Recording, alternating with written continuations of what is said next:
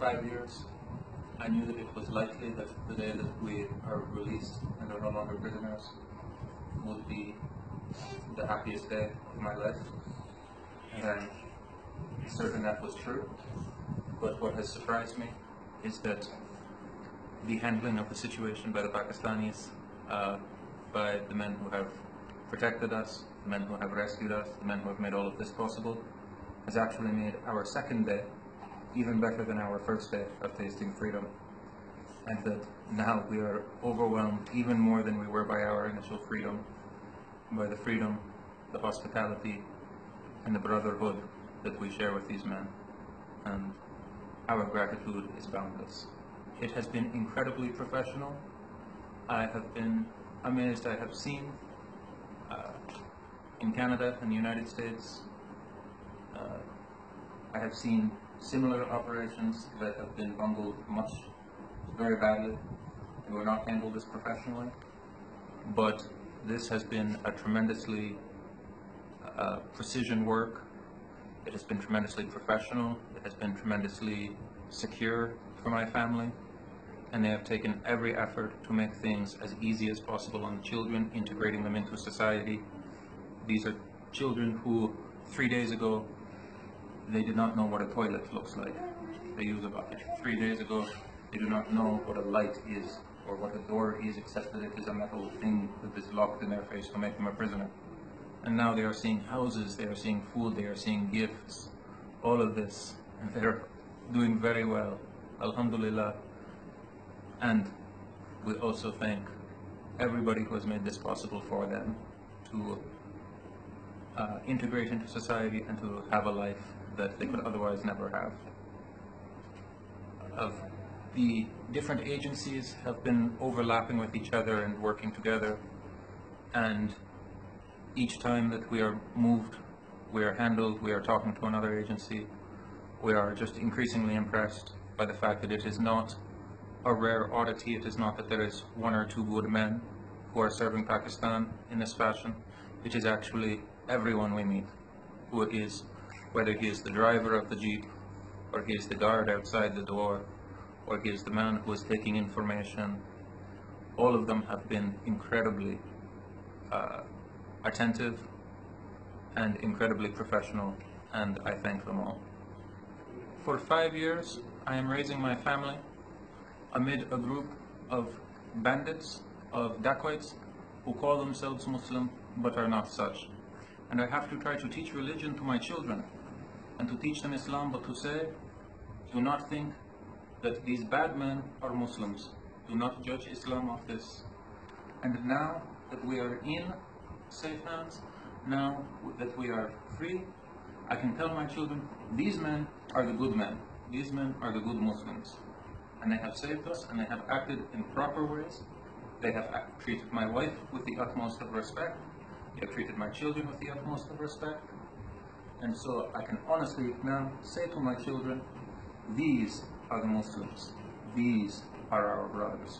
I mean all of the people who have helped us in Pakistan, uh, civilian and otherwise, who uh, have worked to undermine the criminality that was holding us hostage. The day that we are released, and there is the firefight, and men from the Pakistani ISI, the Pakistani army, all of you, uh, a major comes over to me. Well, there is still, I have blood on me. There are, the street is chaos. And he says to me, in the American media, they say that we support the Haqqani network and that we make it possible. Today you have seen the truth. Did we not put bullets in those bastards? And so I can say to you, I did see the truth. And the truth was, that car was riddled with bullets. The ISI and the army got between the criminals and the car to make sure that the prisoners were safe and my family was safe. And they put them to flight and they ran like cowards. And this is proof enough to me that the Pakistanis are doing everything to their utmost to try to reduce the criminality in the country, to reduce the criminality in neighboring countries, and to reduce the criminality in the Ummah. and may God make them successful in this. Our parents are mostly just overwhelmed with emotion right now. Uh, I'm not sure they believe this day would ever come, and so they are still in shock at the fact that uh, things have ended on such a positive note.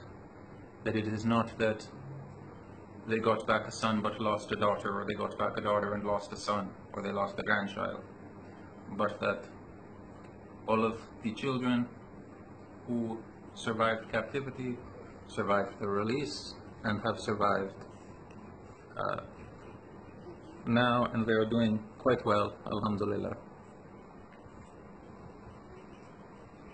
God willing, the Western media reports will look at Pakistan a little bit differently now after this has happened and will understand that it is not a third world disaster area run by incompetent people at all. It is actually uh, on the world stage and on the front lines. Uh, and that I also pray that the Islamic Ummah, who hears many conflicting stories about the government. I cannot speak to the truth of all of them or the lies of all of them, but I can tell you that what I have seen with my own eyes, these men are Muslims. And they are brothers, and this is all. This is enough. I am not able to offer a judgment on the actions of uh, those in Afghanistan. Uh, they may have worked uh, behind the scenes, but I am not able to speak to this. I, I am unable to speak to what the Afghan government may do or may not do in Afghanistan because for five years, where we spend a large bulk of that time in Afghanistan, I do not see the presence of Afghan soldiers. I do not see control of Afghan government in these areas at all. The area, some areas may be controlled by Taliban, some areas may be controlled by Mujahideen, some areas are certainly controlled by criminals, and some areas are completely uncontrolled. The men who kidnapped us did not even make a pretense of being Muslim.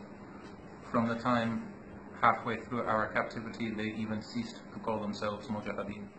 They were undoubtedly criminals. They were undoubtedly pagans. They were directed by commanders who were not guided by Islam, and were not even pretending that they were guided by Islam. They were guided by external factors and guided by their own agendas. I agree that their religion was completely absent and that two, there are good Muslims, there are bad Muslims, and there are those who are not Muslim, they are pagan. The criminals who held us, they were not good Muslims, they were not even bad Muslims they were pagan.